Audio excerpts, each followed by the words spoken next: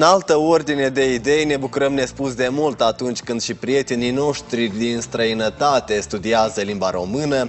De fapt, în țara noastră se desfășoară multe evenimente ce pun preț pe limba neamului nostru și iată că despre dulcele grai românesc vom vorbi în dimineața asta cu Lucia Cucu, director Antem. Bună dimineața și bine ați venit! Bună dimineața! Am zis adineauri că se desfășoară multe evenimente în țară ce se pune preț pe limba neamului nostru și evident că participați și dumneavoastră cu precădere la toate aceste acțiuni. Uh, care este situația la moment? Cât de interesați sunt chiar și cei din străinătate să studieze limba română, dar și noi cei de aici să o vorbim mult mai corect și mult mai bine? Vreau să spun că tot mai mult în Republica Moldova, dar nu doar în Republica Moldova, uh, necesitatea de a învăța limba română crește pe an ce trece și aici mă refer la uh, atât copii uh, cât și străinii din afara țării Um, dar și cei din diasporă. Uh-huh. Antemul, care este o organizație care de mai mulți ani desfășoară diferite uh, cursuri de învățare a limbii române ca limbă străină, dar și ca limba a doua, uh, am observat această tendință de a um, cunoaște tot mai multe limbi, pe lângă limba engleză, pe franceză și limba română vin în capul mesei. Cred că este un lucru îmbucurător și faptul că cei din Republica Moldova, dar și străinii care vin în Republica Moldova, um, se înscriu la aceste cursuri chiar din primele zile când uh, vin în țară. Dacă e o datorie de... socială, cred eu. Cred eu că este și o datorie socială, dar și, în primul rând, este o strictă necesitate. Astăzi, exact. deja, um, nu poți să să cunoști limba engleză, limba franceză și să nu cunoști limba română. De aceea eu cred că uh, deseori um, Asociația Națională a Trenilor Europeni din Republica Moldova, cât și alte instituții organizează diferite evenimente. Chiar săptămâna trecută am uh, uh, fost, am participat la o conferință științifico-practică care, este, care a fost organizată de către Direcția de, Generală de Învățământ, Tineret și Sport, Universitatea Pedagogică Ion Creangă, Antem, în care și, a, a, și Antemul, în care s-au pus în discuție uh, diverse probleme de învățare a limbii române ca limbă nematernă și ca limbă străină. Sigur că este un subiect uh, pentru profesorii de limbă română, un subiect util, necesar, pentru că este o diferență dintre a învăța limba română ca limbă maternă, a învăța limba română ca limba a doua și a învăța limba română ca limbă mm, străină.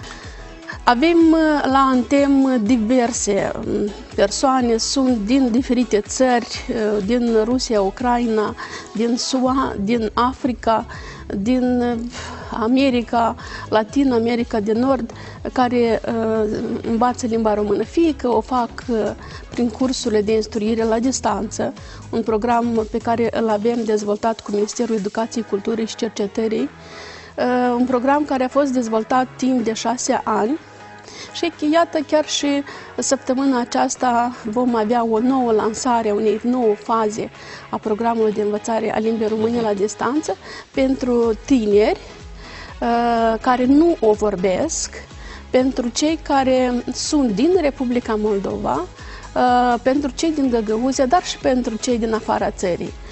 Ce spun cei care abia acum au făcut cunoștință cu limba română? E complicat pentru ei să o studieze? Pentru mine a fost un, un subiect, uh, un, un entuziasm când am auzit un uh, muzician din mhm. Rusia care s-a înscris la noi la cursuri și noi întrebăm, bine, dumneavoastră sunteți în Habarovsk, tocmai în Rusia. Puține tangențe aveți cu... Uh-huh. Nu, mie îmi place Mihai Eminescu și eu vreau să-l citesc wow. în original. A fost, am fost surprins plăcută să ascult cum uh, străinii vorbesc despre limba română, vorbesc despre tot ce este frumos uh, în literatură uh, și uh, tot ce este limba română, până la urmă.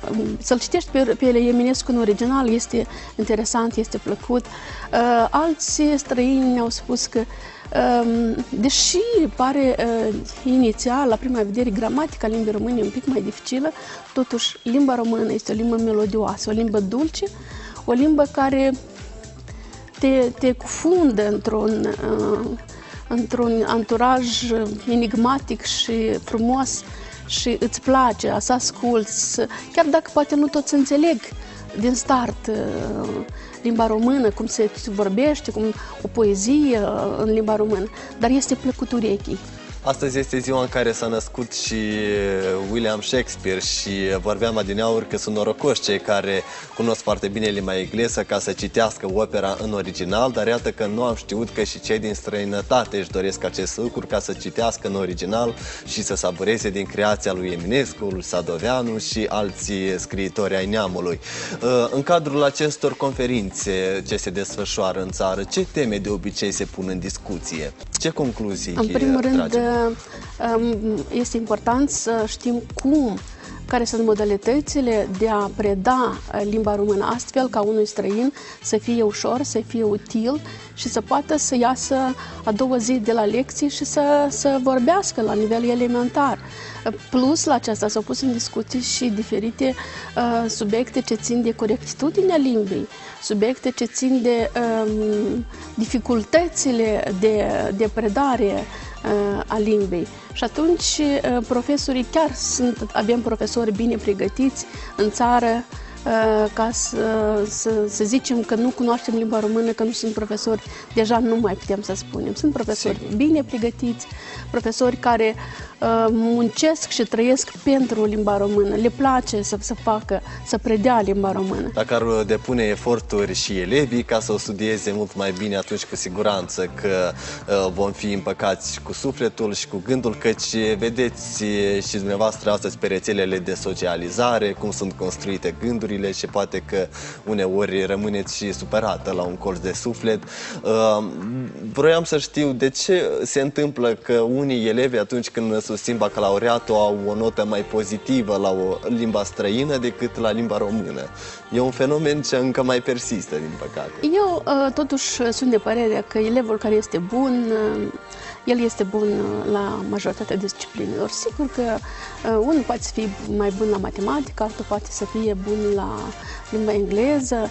Uh, tendința aceasta spre uh, europenizare probabil că i-au uh, condus pe copii ca să, uh, să studieze limba română să studieze limba engleză. Cu toate acestea, eu vreau să spun că cei din uh, Găgăuzia tot mai mult și mai mult, adică vorbesc o limbă frumoasă, uh, vorbesc, uh, parcă m-ar durea să zic că ei nu o vorbesc. Noi avem diverse programe. Este programul de învățare a limbii române și a limbii găgăuze, un program pentru copiii mici și părinții lor. Uh, acești copii vorbesc o limbă română, o limbă românească foarte frumoasă, corectă, fără accent uh, și chiar mă bucur acest lucru. Mă bucur și faptul când, iată, am auzit uh, că um, la un concurs organizat de Ministerul Educației, cei din Găgăuzia au luat locuri premiante. Uh-huh. Eu cred că lucrurile totuși se schimbă. Faptul că se mai întâmplă și note mai, mai puțin plăcute, așa să zicem noi, pentru copii, este și un lucru firesc. Nu toți, nu toți um, reușesc din prima, dar reușesc din a doua. Mulți copii o învață din stradă și nu este cel mai eficient lucru, dar aveți niște volume uh, în dimineața asta și vreau să le prezentați și publicului. Despre ce Cu este mult vorba? drag am venit aici ca să, să prezint Nicu și Leanca, uh-huh. un manual, o cărțulie pentru uh, cei de 5-6 ani. Uh, a fost inițial planificat ca acest manual să fie, uh, să învețe limba română, cei din Găgăuzia. Exact la fel este și manual de limbă găgăuză, uh-huh. uh, un manual uh, care învață simultan și limba română și limba găgăuză. Uh, cu multă imagine, cu uh, copiii vorbesc în baz, învață limba română în baza modelelor de vorbire. Uh, după care mai am aici o altă carte care este Învățăm limba română, Uh, limba română ca limbă străină. Dacă vorbim despre Nicu și Leanca, e vorba de limba română ca limba a doua. Uh-huh. Dar învățăm limba română uh, ca limbă străină. Este un manual Pentru străini, noi inițial l-am elaborat pentru refugiații care vin în Republica Moldova, un manual uh, la fel de color, dar este vorba de deja categorie de vârstă mult mai, mai, mai avansată și uh, aici ne referim la cei care, uh, străinii care vin în Republica Moldova și uh, învață limba română. Mă bucur să spun că uh, înaltul comisar pentru refugiați a ne-a susținut uh, în a edita o astfel de carte. Un alt comisar pentru minorități ne-a susținut să, să implementăm programul de învățare simultană. Acum, uh, cu susținerea Organizației Internaționale pentru Migrație, Ministerul Educației, Biroul pentru Relații cu Diaspora, uh, iată că vom lansa săptămâna aceasta uh-huh. această carte minunată. Exact, învățăm limba română împreună, uh, nivelul A1, pentru centrele educaționale din diaspora, pentru cei copii care sunt departe de casă, pentru acei părinți care vor și speră că totuși vor putea să revină acasă, chiar dacă copiilor sunt născuți peste hotare, ei totuși vor ca copiilor să învețe limba română. Este un succes, cred că, al al nostru că am reușit să, să fim alături și de uh, centre educaționale din Vă diaspora. mulțumesc nespus de mult pentru prezență și pentru aceste detalii. Uh, prin uh, intermediul acestor manuale vom reveni la rădăcini și uh, uh, limba română e la loc de cinste în viața fiecărui om care locuiește aici și nu uite de unde a pornit. Vă mulțumesc pentru prezență și o zi frumoasă să aveți. Mulțumesc și o zi frumoasă tuturor.